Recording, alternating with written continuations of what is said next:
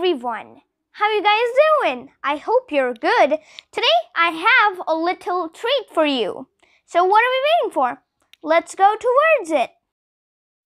Today I will tell you guys three ways to say congratulations, I think, and it's funny. First, we will head towards congratulations. Three ways to say congratulations. Felicitation, kudos, and sensational. Well, that's a better way. Second is, I think. What can you say in behalf of I think? You can say I believe, I consider, and if you ask me.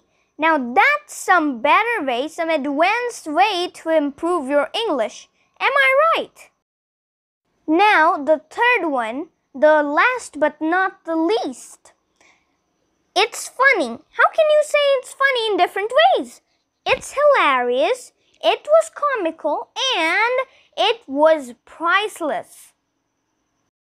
This was really fun, am I right? Well guys, that was it for today. Thanks for watching this video.